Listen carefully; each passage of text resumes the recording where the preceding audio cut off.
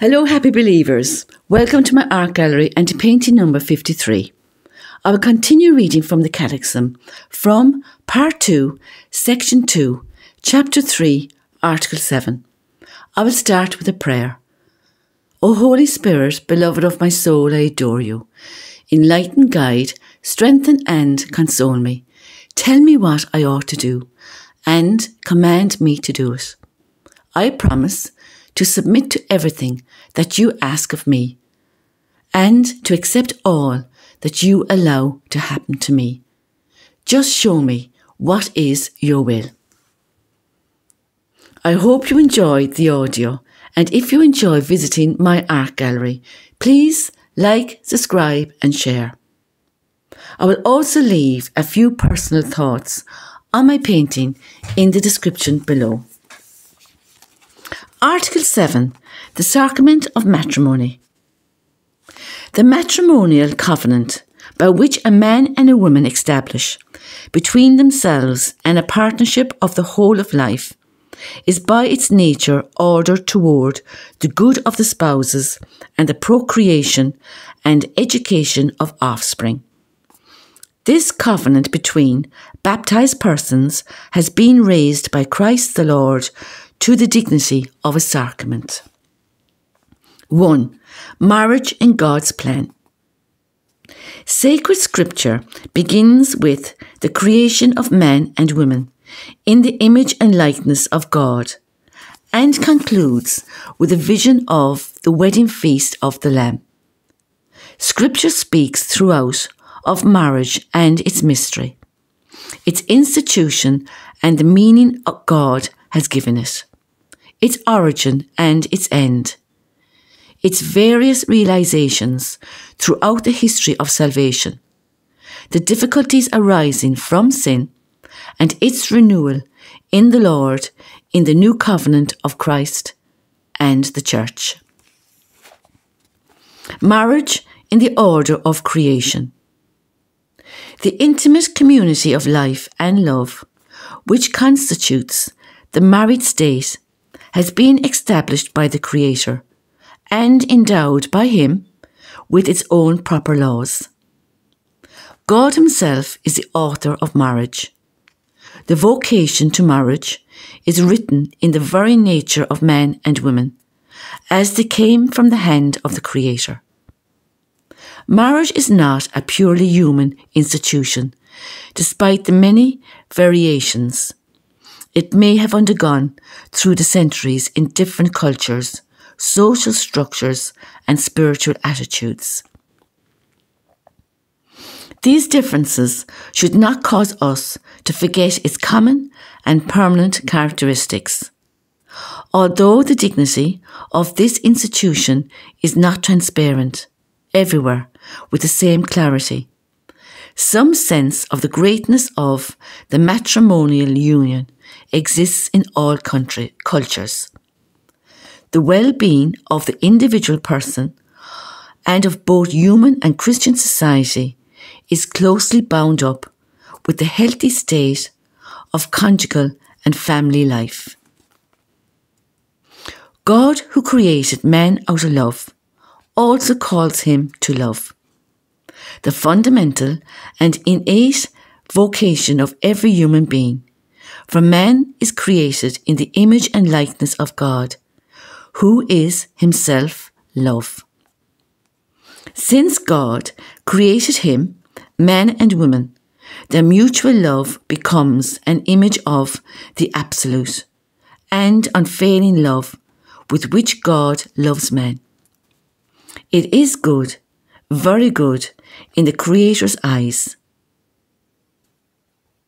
And this love, which God blesses, is intended to be fruitful and to be realized in the common work of watching over creation.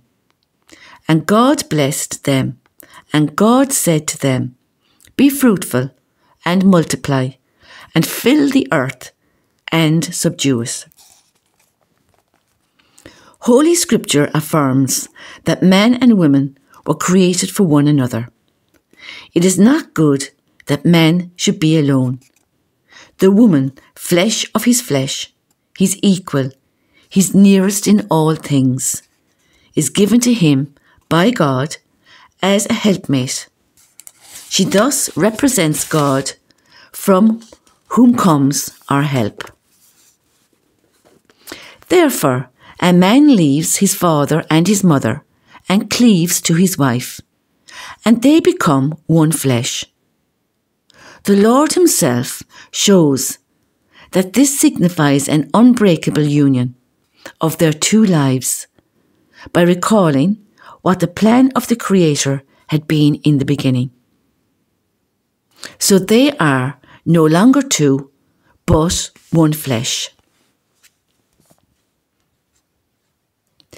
Marriage under the regime of sin. Every man experiences evil around him and within him. This experience makes itself felt in the relationships between men and women. Their union has always been threatened by discord, a spirit of denomination, infidelity, jealousy, and conflicts that can escalate into hatred and separation. This disorder can manifest itself more or less acutely and can more or less overcome according to the circumstances of cultures, eras, and individuals. But it does not seem to have a universal character. According to faith, the disorder we notice so painfully does not stem from the nature of men and women, nor from the nature of their relations, but from sin. As a break with God, the first sin had its own, had its first consequence, the rupture of the original communion between men and women. Their relations were distorted by mutual recriminations their mutual attraction, the Creator's own gift, changed into a relationship of denomination and lust. And the beautiful vocation of men and women to be fruitful, multiplied, and subdue the earth was burdened by the pain of childbirth and the toil of work. Nevertheless, the order of creation persists, though seriously disturbed. To heal the wounds of sin, men and women need the help of the grace that God, in His infinite mercy, never refuses them. Without His help and help, men and women cannot achieve the union of their lives for which God created them in the beginning marriage under the pedagogy of the law. In his mercy, God has not forsaken sinful men. The punishments consequent upon sin, pain in the childbearing, and toil in the sweat of your brow, also embody remedies that limit the damaging effects of sin. After the fall, marriage helps to overcome self absorption egoism, pursuit of one's own pleasure, and to open oneself to the order and open oneself to the other, to mutual aid and to self giving. More conscience concerning the unity and indissolubility of marriage developed under the pedagogy of the law. In the Old Testament, the, poly- the polygamy of patriarchs and kings is not yet explicitly rejected.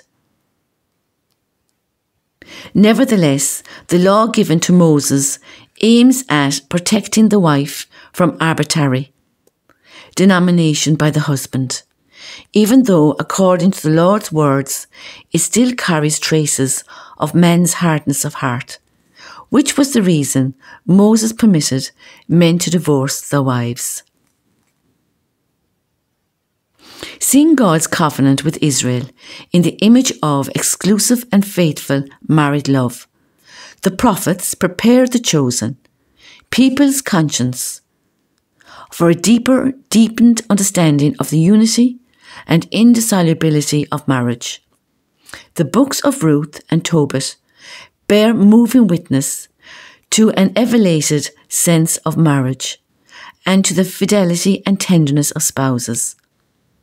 Tradition has always seen in the Song of Solomon a unique expression of human love insofar as it is a reflection of God's love, a love strong as death that many waters cannot quench. Marriage in the Lord. The nuptial covenant between God and his people Israel had prepared the way for the new and everlasting covenant in which the Son of God, by becoming incarnate and given his life, has united to himself in a certain way all mankind and saved by him, thus preparing for the wedding feast of the Lamb. On the threshold of his public life, Jesus performs his first sign at his mother's request during a wedding feast. The church attaches great importance to Jesus' presence at the wedding feast at Cana. She sees in it the confirmation of the goodness of marriage and the proclamation that henceforth marriage will be an efficacious sign of Christ's presence. In this preaching, Jesus unequivocally taught the original meaning of the union of men and women as, as the Creator willed it. From the beginning, permission given by Moses to divorce one's wife was concession to the hardness of hearts. The matrimonial union of men and women is indissoluble. God Himself has determined it. What therefore God has joined together, let no man put asunder. This une- unequivocal insistence on the indissolubility of the marriage bond may have left some perplexed and could seem to be a demand impossible to realise. However, Jesus has not placed on spouses a burden impossible to bear or too heavy, heavier than the law of Moses. By coming to restore the original order of creation disturbed by sin, he himself gives the strength and grace to live marriage in the new dimension of the reign of God. It is by following Christ, renouncing themselves, and taking up their crosses that spouses will be able to receive the original meaning of marriage and live it with the help of Christ. This grace of Christian marriage is a fruit of Christ's cross, the source of all Christian life.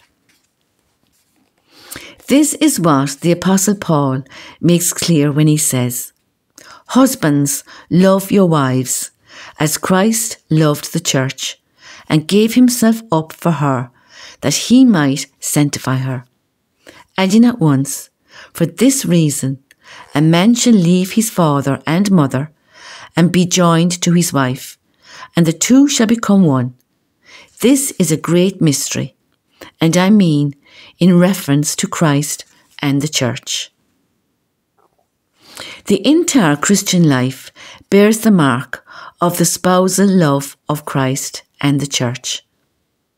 Already baptism, the entry into the people of God, a nuptial mystery, is a nuptial mystery. It is, so to speak, the nuptial bath, which precedes the wedding feast, the Eucharist. Christian marriage, in its turn, becomes an efficacious sign, the sacrament of the covenant of Christ and the Church. Since it signifies and communicates grace, marriage between baptized persons is a true sacrament of the new covenant. Virginity for the sake of the kingdom. Christ is the centre of all Christian life. The bond with Him takes precedence over all other bonds, familial or social. From the very beginning of the Church, there have been men and women who have been renounced the great good of marriage.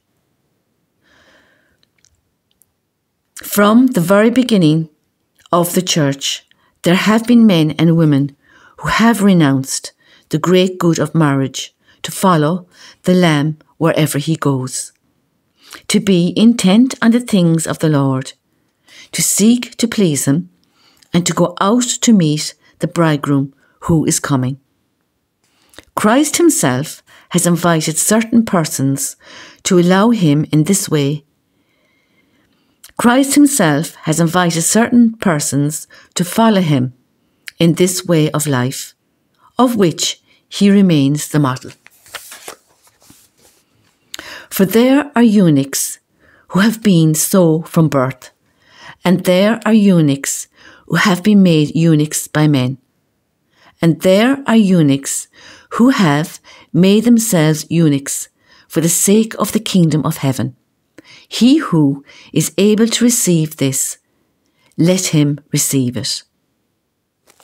Virginity for the sake of the kingdom of heaven is an unfolding of baptismal grace, a powerful sign of the supremacy of the bond with Christ and of the ardent expectation of his return a sign which will also recall also recalls that marriage is a reality of this present age which is passing. Both the sacrament of matrimony and virginity for the kingdom of God come from the Lord Himself. It is He who gives them meaning and grants them the grace which is indispensable for living them out in conformity with his will. Esteem of virginity for the sake of the kingdom and the Christian understanding of marriage are inseparable and they reinforce each other. Whoever denigrates marriage also diminishes the glory of virginity. Whoever praises it makes virginity more admirable and resplendent. What appears good only in comparison with evil would not be truly good.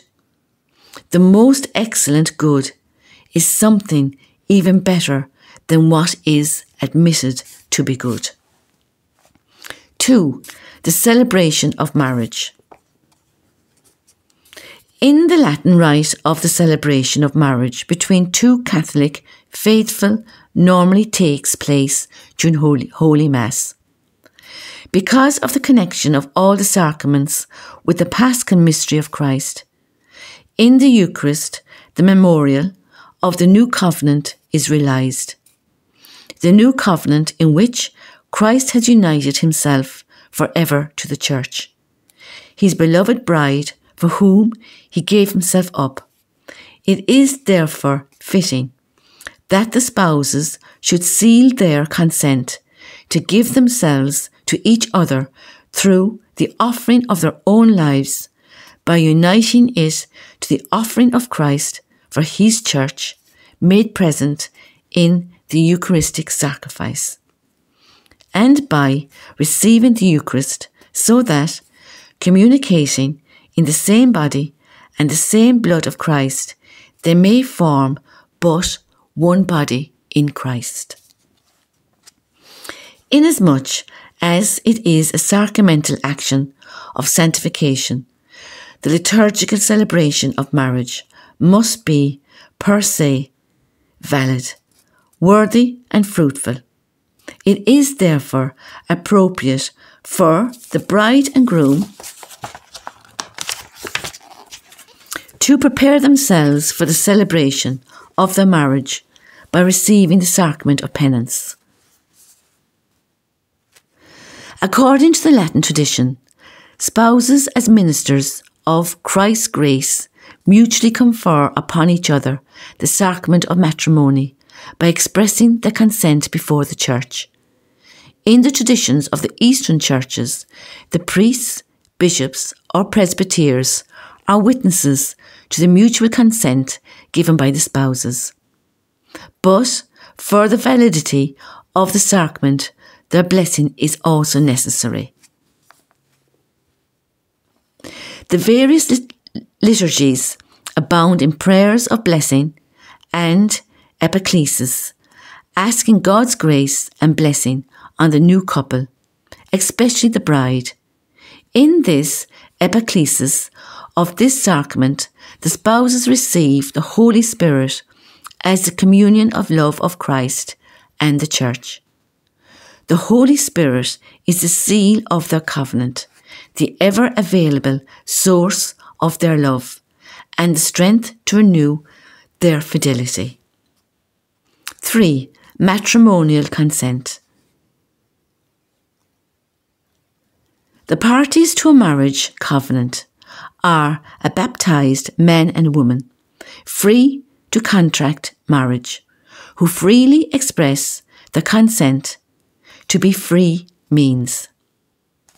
Not being under constraint, not impeded by any natural or ecclesiastical law. The Church holds the exchange of consent between spouses to be the indispensable element that makes the marriage. If consent is lacking, there is no marriage. The consent means in a human, the consent consists in a human act by which the partners mutually give themselves to each other. I take you to be my wife. I take you to be my husband. This consent that binds the spouses to each other finds its fulfillment in the two becoming one flesh.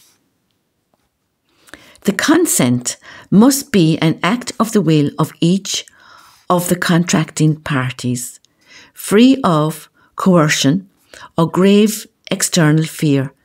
No human power can substitute for this consent. If this freedom is lacking, the marriage is invalid.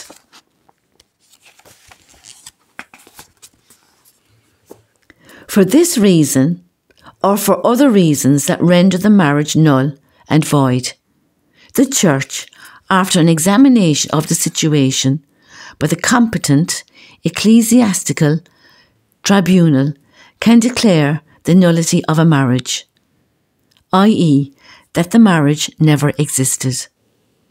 In this case, the contracting parties are free to marry, provided the natural obligations of a previous union are discharged.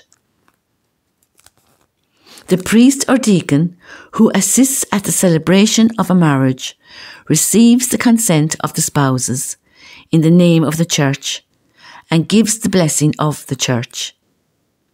The presence of the church's minister and also of the witnesses visibly expresses the fact that the marriage is an ecclesial reality. This is the reason why the church normally requires that the faithful contract marriage according to the ecclesiastical form. Several reasons converge to explain this requirement.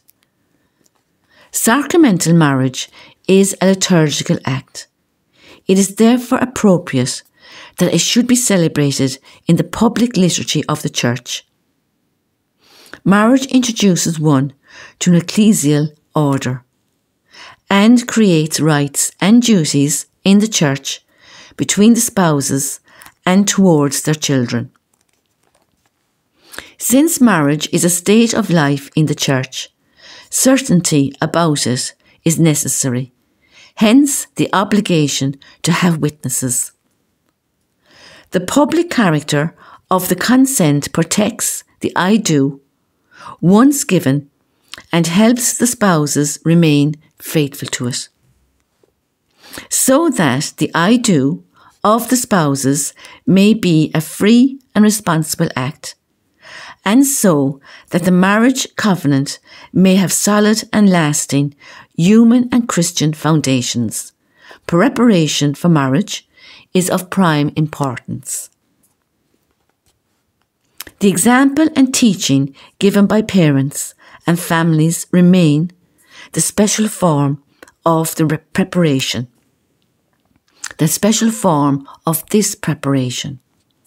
The role of pastors and of the Christian community as the family of God is indispensable for the transmission of the human and Christian values of marriage and family.